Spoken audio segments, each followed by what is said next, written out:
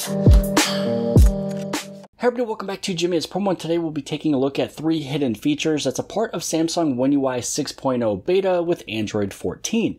Now the first one that we're going to cover is dealing with Android 14. This is that little hidden Easter egg that basically comes along with every single brand new Android version. And so this one is including a game with a starship and you basically have to find different galaxies or stars. So the first thing you want to do is head inside of your settings and then you want to hit on About Phone. Now inside of About Phone, you want to hit on Software Information. Now on the screen here, all you have to do is tap on Android version a few times, and then it's going to bring you to this screen here, and it looks as if you were out in space, you see stars, and so this is kind of almost looking a little bit like a little spaceship. So what you want to do here is you want to press and hold, it's going to shake, all the stars and everything is going to go much, much quicker, and then when it finally gets into this screen here, you're able to let go. Now, what you're trying to do here is find the little star or a cluster, and it's pretty much letting you know your position right here. So what you want to do is put both of these numbers as close to zero as possible in order for you to find it. So if you swipe down, you can see here that looks as if I'm getting a little bit closer. So down is definitely the right move.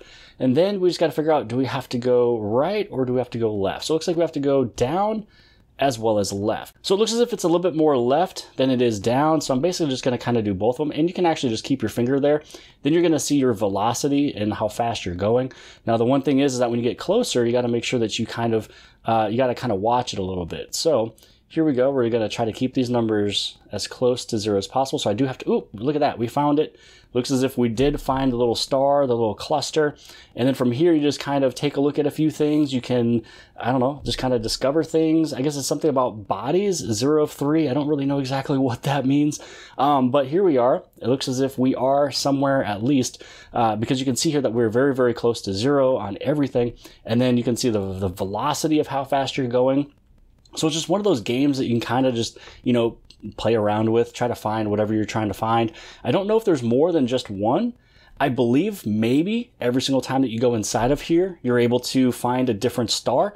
So this one is called Morel Pi R, or also known as UDC 3714, I believe, Class A, whatever. I don't know. This is just something that I think is pretty cool. All I really know is that you would want to try to position yourself all the way to zero on both of those.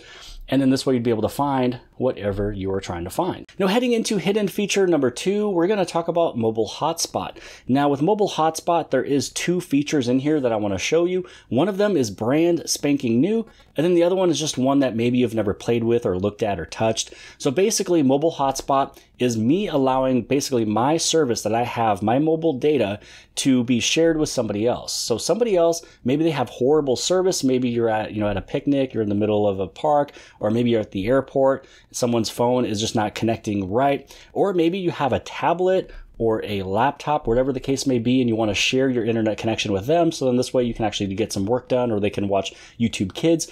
So what you can do here is if you actually tap on this band, uh, and on your phone, it may actually have the word configure. And when you hit on configure, it'll take you to this screen.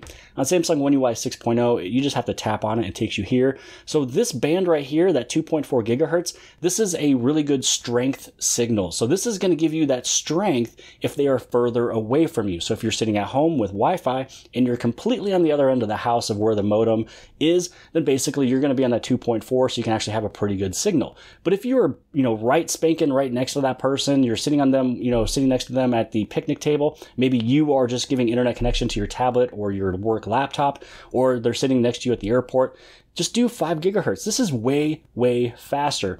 So this is one of those things that you can do that if they are complaining that the internet speed is not great, switch your band to 5 gigahertz. It's just one of those things that it is preferred to use 5 gigahertz um, just if you want to have those faster speeds. And then 2.4 is if you need that strength to make it go further. So if you want to have faster internet speed or at least share faster internet speed, then click on that 5 gigahertz. Now moving on to the brand new feature, a part of Samsung One UI 6.0 beta with Android 14 is going to be this feature right here. Now the phone that you're holding onto will probably end the screen there, and this one is brand new. One time password. So what's going to happen is when you turn this on, it'll actually create a password that is temporary, which means that if they are using your hotspot currently, and then maybe later that day, or tomorrow when you turn on your mobile hotspot, they're not going to have the correct password. They would have to get the brand new password from you. So just a way you can share your password with guests to allow them to use your mobile hotspot temporarily. The next time you turn on mobile hotspot, the password will be reset. So now that I've turned this one on, and then I turn on my mobile hotspot. So now if somebody wanted to share it, or, or if I wanted to share my mobile hotspot with them, I can either just show them the QR code to get it connected, or I can just copy and paste this and send it over to them. And then this way they'd be able to use my hotspot. And then let's say the very next time that you turn this on, which I'm just going to demonstrate here, I'm going to reset my passcode. And so now you got a brand new passcode that they would have to use this to connect to your mobile hotspot. So I find this to kind of be ingenious because maybe somebody is wanting to use your hotspot for a second time without your approval, or maybe you let your neighbor use it really quick. And this way, when you're not actually noticing or looking at it and you have your mobile hotspot on and you don't see how many devices are connected, it's just kind of a way that you can have something that's brand new.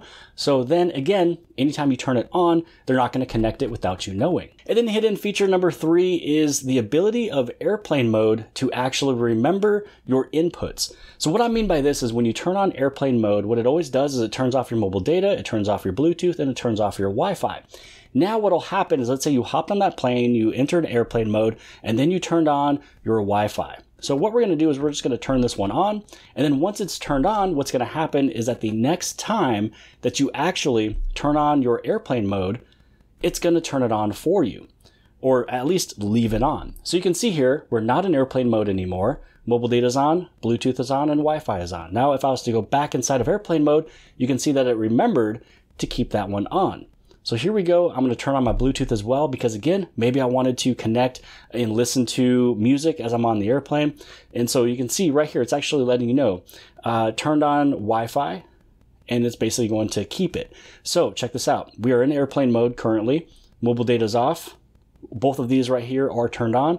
Now when I turn this off, what's going to happen is when I, you know, I'm waiting my layover, I pop onto the next airplane, boom both of those will stay on so I don't have to turn them right back on again and mobile data is turned off. Now if you do want this to go back to normal, all you would have to do is if you turn these off while you're using airplane mode and then you turn this off, that will be the scenario it remembers.